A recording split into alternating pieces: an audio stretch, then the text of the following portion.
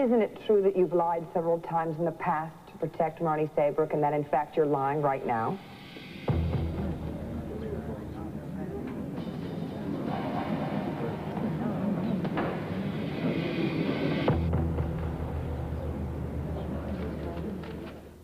Please answer the question, Mr. Webb. Are you lying now for Marty Saybrook? Objection.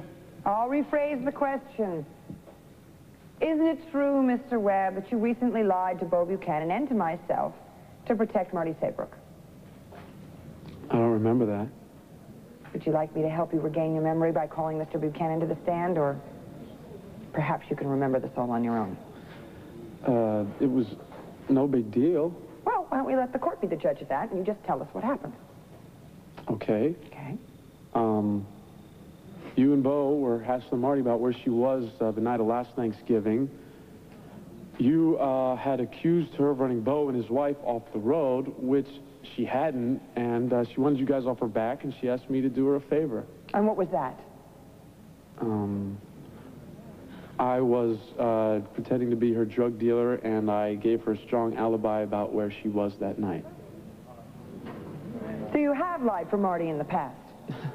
I think you're making it something more than it was. No, I'm simply calling a lie a lie, and you did admit to lying, didn't you? Objection, Your Honor. Counsel is badgering the witness. Sustained. All right, let's move on. You testified this morning that Kevin Buchanan disliked Marty Saybrook and vice versa. Isn't that correct? Yes. Why does Kevin dislike Marty? Do you have personal knowledge as to why he might? Well, it's kind of complicated, but basically Kevin hated me because I was engaged to his ex-wife, Leanne. And when Leanne left me because of Marty, I think Kevin saw Marty as partly responsible for Leanne's getting hurt, and that's when he started to hate her, too. So let me get this straight. You and Marty were lovers, and when asked by her to lie, you did so willingly to protect her. Is that right? You don't know anything about me. Yes, I know you have lied before, and I submit to the court that you're lying now. Isn't that right? Can you deny that? You're under oath. Yes, I lied before, but it was for Thank good you. No further reason. questions. Your Honor, I'd like to redirect. Proceed. Mr. Webb, you said you had a good reason for lying. What was that?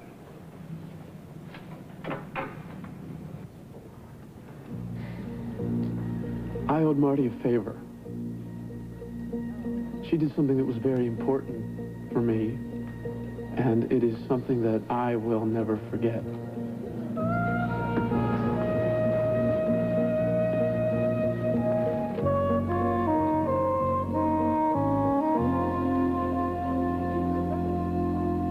Jessica, darling. Uh, Lied for Marty Saybrook because she had done something very important for you. That's right. Would you please tell the courtroom what it was she did? She pretended to have an affair with me to help me win Leanne's baby back for her. That is a lie!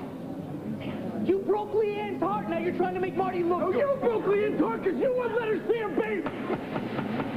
Sit down, both of you, now! I will not tolerate another outburst in my courtroom. Do I make myself clear? Yes, Your Honor. Now, Mr. Webb, for the benefit of, of us who, who do not know, would you tell us who this Leanne is? Leanne Demerest was Kevin's ex-wife, and I started to see her after she broke up with Kevin. Uh, he didn't like it, so he kept their baby away from her. Thank you. You may continue, Mr. Gannon. Thank you, Your Honor.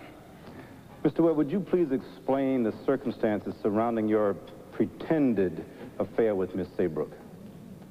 Marty and I set it up so that Leanne would find us in bed together. And I knew that that was the only way that I could get her to break up with me.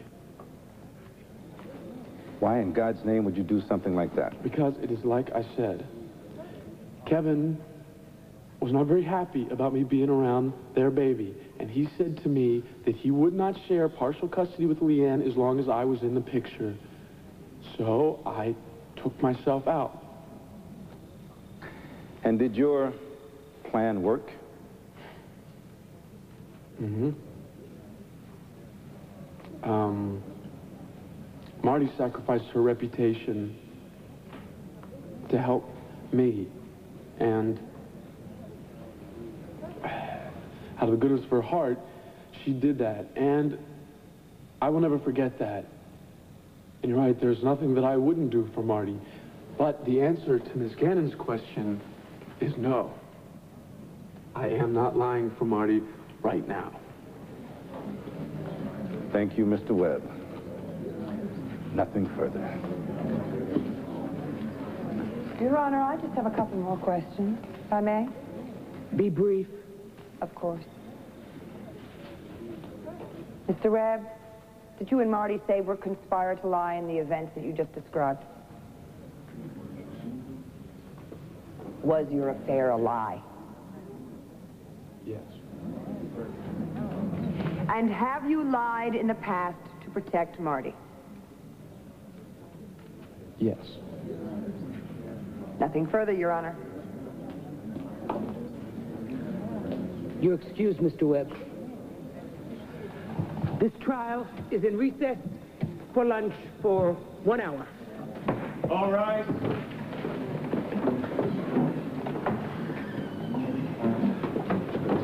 Can We get out of here?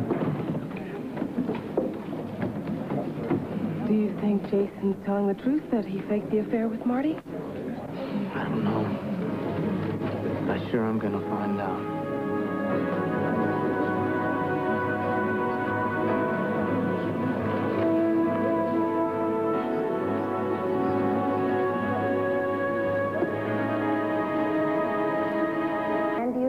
University? Psych, major with a minor in American Studies. I'm more interested in your social life. You attended the spring fling at the KAD house early this May? Unfortunately, Why do you say unfortunately? it was a zoo. Ms. Haynes, at that party, how would you describe the attitude of the defendants toward Marty Saybrook? Objection, Your Honor. The witness, in her own words, is a psych major and not a clinical psychologist. I'm not asking for expert opinion, just the observations of a fellow student. I'll allow it, within limit. Thank you, Your Honor. Ms. Haynes, I'll be more specific. Would you say that the defendants were friendly toward Marty Saybrook? Try hostile. Todd hated Marty, and Zach and Powell would do anything Todd told them to do. Anything. That's what I said. Anything.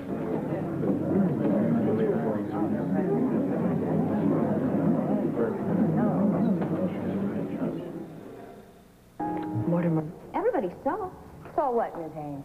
That doll. Disgusting doll.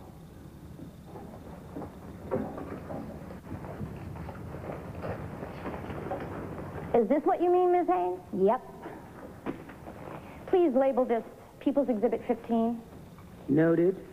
This doll seems a little deflated, Miss Haynes. Why is that? Well, Todd pretended to make love to it. He thought it was hilarious.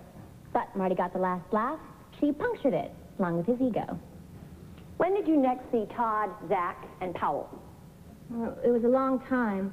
An hour or so. And then I saw Powell coming down the stairs looking green. Green. With envy? Oh, green like he was sick or something. Upset, you know. Really upset. Which brings us to the fourth defendant, Kevin Buchanan. How would you characterize the defendant's behavior with Marty Saybrook that night?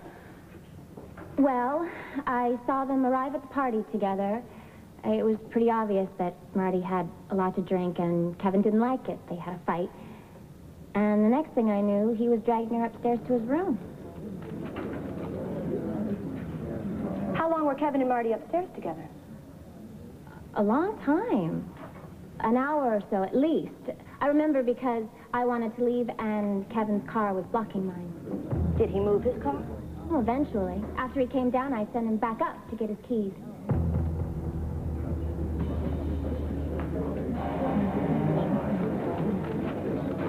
One last question, Ms. Haynes. What was your reaction when you heard that Marty Saybrook had been raped? I wasn't surprised. I, I mean, I'm Marty's friend and everything, but she's no saint. Now, she can tease with the best of them. Teasing four young men, men she knew, into having sex with her? Is that the Marty Saybrook that you know?